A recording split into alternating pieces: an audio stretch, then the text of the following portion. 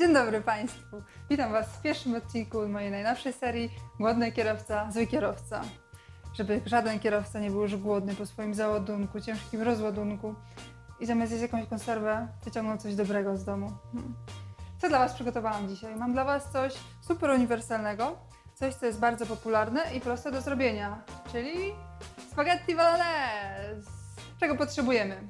Po pierwsze to potrzebujemy mięso mielone, oczywiście jako podstawa. To jest mięso wołowe i mięso wieprzowe. Ja kupuję takie świeże, od razu świeże zmielone przy mnie, ponieważ takie jest najlepsze i widzę, co mi tam mielą. Sami wiecie, jak to jest. Potem potrzebujemy boczku. Ja kupuję od razu taki boczek y, wędzony, pokrojony, ponieważ boczek surowy ciężko się kroi w kostkę i jest niewygodne tracić czas po co. Nie mamy czasu na to. Później potrzebujemy cebuli, potrzebujemy czosnku, potrzebujemy marchewkę, potrzebujemy selera, pomidory, pomidory w puszce. Ja mam takie pomidory w puszce pokrojone, ale mogą być tak samo takie całe pomidory, ponieważ będziemy długo gotować ten sos i one się rozgotują. No i oczywiście potrzebujemy makaron spaghetti. Potrzebujemy jeszcze wina, które pójdzie częściowo do gotowania, częściowo do brzuszka. Oczywiście kuchareczki. Potrzebujemy oczywiście w końcu na koniec y, parmezan, ser parmezan oraz świeże oregano bądź bazylię. Ja mam dzisiaj to i to. Nie wiem co zjem. Chyba zjem wszystko. Być może ten przepis będzie Wam się wydawać na początku dziwny przez tą marchewkę i przez selera naciowego, ale dzięki tym warzywom będziemy mieć dodatkową głębię smaku. Męska rzecz. Trochę do sosu. Hmm. Może być. Tak naprawdę do gotowania potrzebne jest tylko proste, wytrawne, czerwone wino. Więc tak, teraz obieramy marchewkę. Tak by wypadało zrobić. Marcheweczki czekają na swoje ostatnie starcie. I to jest to, co najbardziej nie lubię.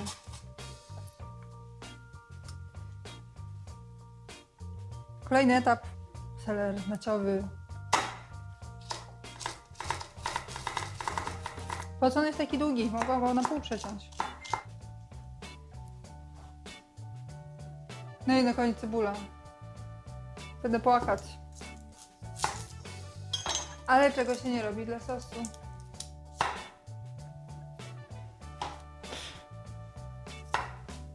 Cebulo, idź tam. Ta cebula nie chce być pokrojona na małe kawałki, ale ja i tak z nią zwykle i tak ją pokroję na małe kawałki. No i na koniec tylko jeszcze czosnek. Z tym już pójdzie gładko.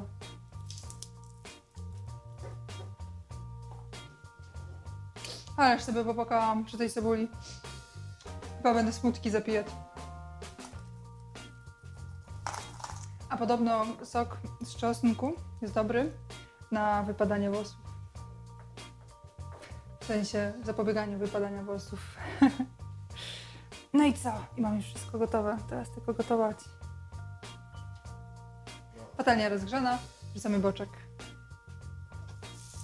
Mój boczek jest dosyć chudy, nic się z niego nie wytapia, dlatego mój będę musiała dodać troszeczkę tłuszczu, żeby dalej później warzywa miały się na czym dusić. No i teraz możemy już rzucić cebulkę. Dorzucamy czosnek. Mieszamy, mieszamy, żeby się nie przypaliło. Cebula już jest taka w sam raz, troszeczkę nabrała koloru od boczku, nie jest przysmażona, jest taka zeszklona. Teraz jest ten czas, żeby dodawać resztę warzyw. I te warzywa teraz możemy już posolić i popieprzyć. Żadnych innych przypraw w ogóle nie, nie potrzebujemy. Sól. Trzeba pamiętać o tym, że boczek jest zazwyczaj solony. Najlepiej to jest spróbować sobie, jak bardzo jest solony, żeby później nie przysolić wszystkiego. Pieprz. No dobrze. I teraz te warzywa muszą się poddusić trochę. Więc przykrywamy. Tam. I czekamy.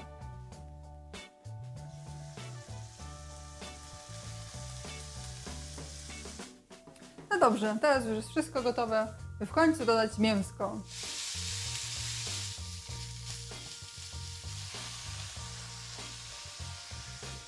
I teraz właśnie trzeba bardzo uważać na początku to mięso tak cały czas rozdrabniać, żeby ono się usmażyło takie rozdrabnione, ponieważ jak ono się usmaży w takich dużych brudach, już się nigdy nie da tego rozdzielić. Mięso już takie w sam raz do podlewania winem.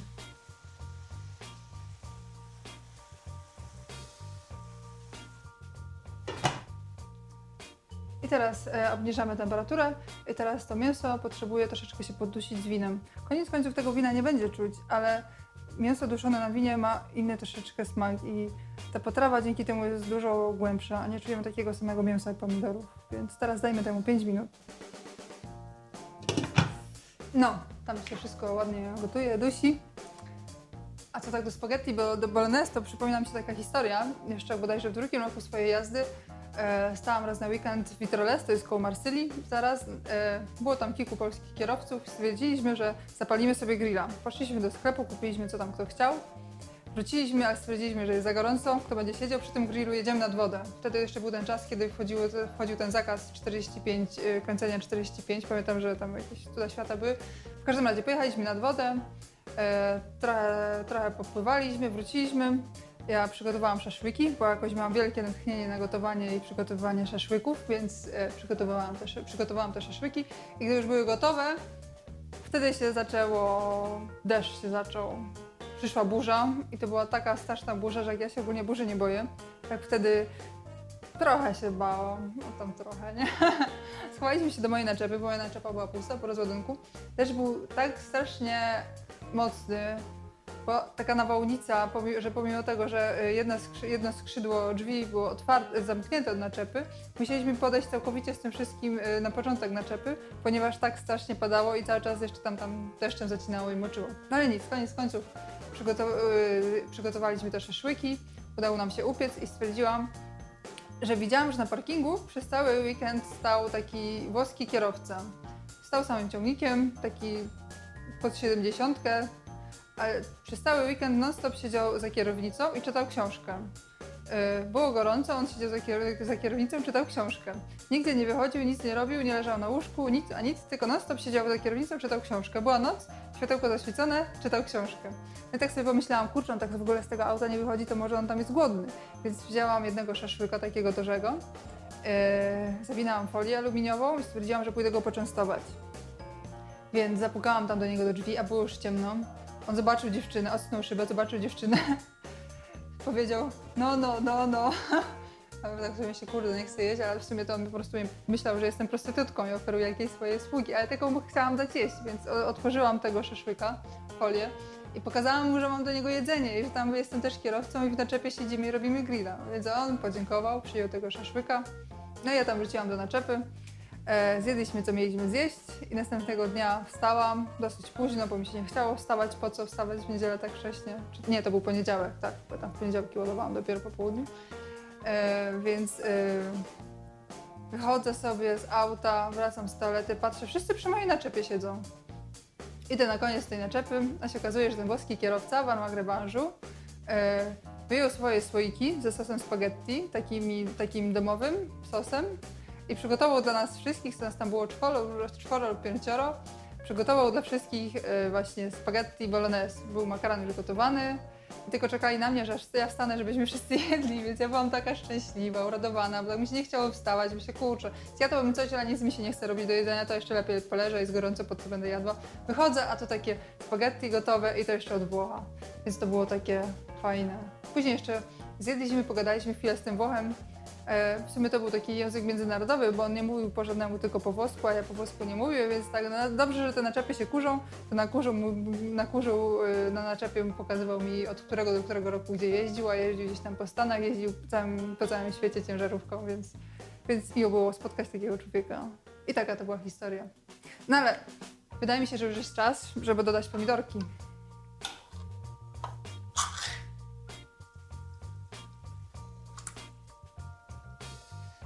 Dobrze. I teraz taki sos powinien się gotować. Hmm. Im dłużej, tym lepiej. Tak dwie godziny to jest sam raz, taki zostawiony na wolnym ogniu, żeby się dusił, żeby te smaki przechodziły przez siebie. No ale tak naprawdę, jak nie mamy czasu, to godzina też jest dobra. A jak jesteśmy super głodni i źli, pół godziny nawet wystarczy.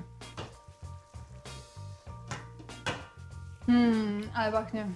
Teraz, gdy y, sos się gotuje, potrzebuje czasu, mamy czas na to, żeby zetrzeć sobie parmezan, już do podawania później ugotować makaron, no i tam uskubać trochę oregano.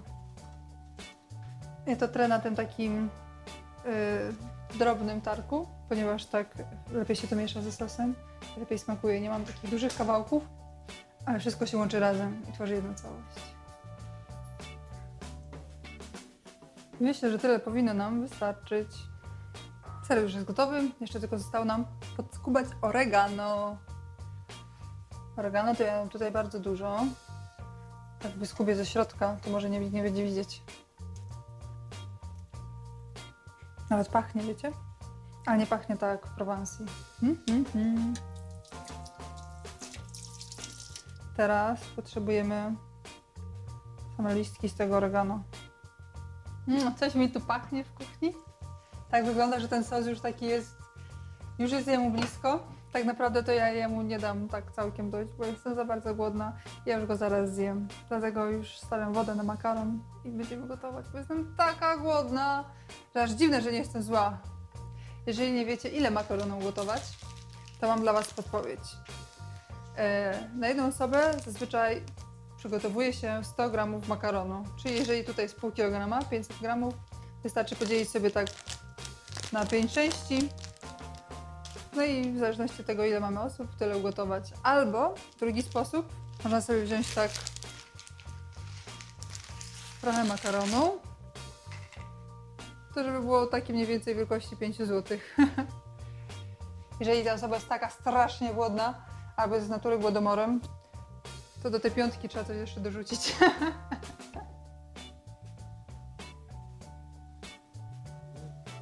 Woda się już gotuje.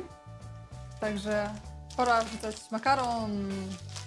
Nas jest tutaj trójka, więc ja tak wezmę więcej niż połowę tego makaronu. O.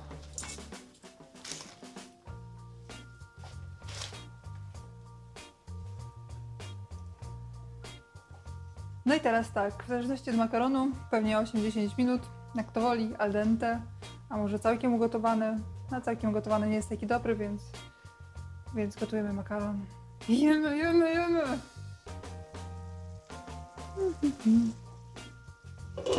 Wszystko już tam ładnie wyparowało, bo sos nie jest wodnisty, według mnie taki powinien być, więc możemy dodać oregano już na samym końcu.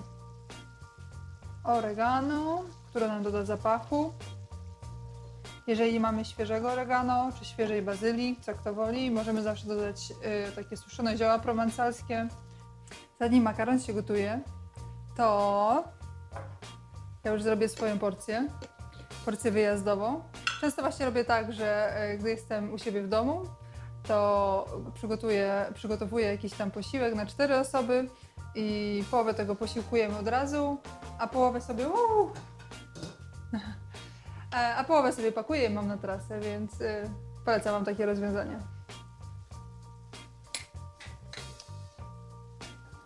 I teraz szybko zakręcamy. Trzeba zwrócić uwagę, czy wszystko jest suche dookoła. A jest suche. Zakręcamy szybko słoik. Taki super gorący, wrzący. I zostawiamy, proszę Państwa, do wystygnięcia. To jest porcja taka dla takiego jednego głodnego człowieka w takim słoiku.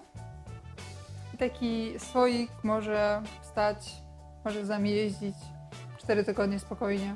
Nie możemy tego narażać, narażać na słońce, na temperaturę, ale to jest coś, co możecie brać i wozić, i wozić i się nie zepsuje, więc polecam. No i widzicie, nasze gotowanie jest prawie już zakończone. Tylko jeszcze jedna rzecz. Pamiętajcie o tym, żeby makaronu nie przepłukiwać. Druga rzecz jest taka, że to moje spaghetti, które ja tutaj zrobiłam, jest troszeczkę bardziej warzywne od tego, które macie w przepisie. Ponieważ ja takie lubię, ale w przepisie macie klasyczne włoskie spaghetti. Także sami widzicie. Więc po co jeść adery? Takie kupowane. Skoro możecie jeść dobrowe, dobre jedzonko, które przygotujecie sami, a może wasza żona albo partner, przygotuję trasę. Makaron, spaghetti al dente, viva Italia! Si, si.